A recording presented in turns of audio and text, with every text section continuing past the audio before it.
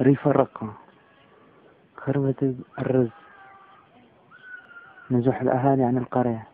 بسبب القصف العشوائي على القرية. من قبل عصابات الطاغية بالشهر.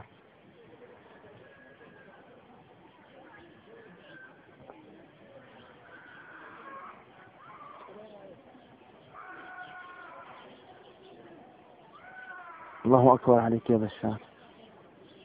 الله أكبر عليك.